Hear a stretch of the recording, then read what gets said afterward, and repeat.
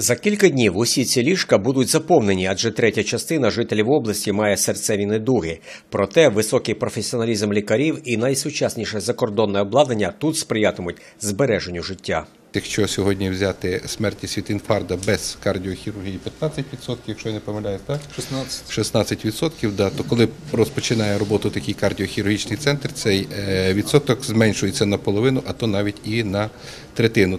У кардіохірургічному центрі буде так званий повний цикл від регістратури до реабілітації. Тут робитимуть як малоінвазивні операції, так і на відкритому серці. Житомирські лікарі активно співпрацюють з фахівцями Київського інституту серця.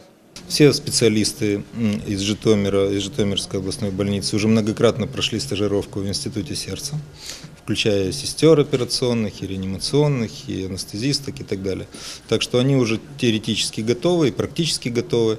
Но для первых больных, поскольку место новое, оборудование новое, мы все-таки сделаем несколько операций совместно, а потом уже самостоятельное плавание. Підготовка до відкриття кардіологічного центру тривала три роки. На будівельні роботи та придбання медичного обладнання виділено більш ніж 22 мільйони гривень бюджетних коштів. Сьогоднішнє відкриття це є велика подія і для нашої області.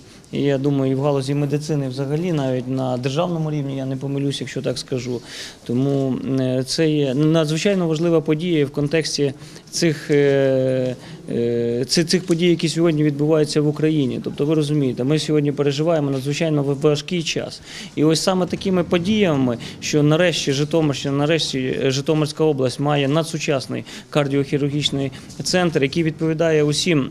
Європейським стандартам ми якраз демонструємо нашу е, наш вибір, нашу волю рухатися у європейському і розвиватися у європейському напрямку. Погодьтесь, всі, хто були в лікарнях, відділення відрізняється. От як у нас будуть всі такі відділення, починаючи там від опікового чи урології, чи іншого, то пацієнт буде швидше виздоравлювати. Будуть такі ліжка, будуть такі, ну таке все обладнання. Як зазначили посадовці, цього року в обласній лікарні з'явиться і перший придбаний за бюджетні гроші магнітно-резонансний томограф.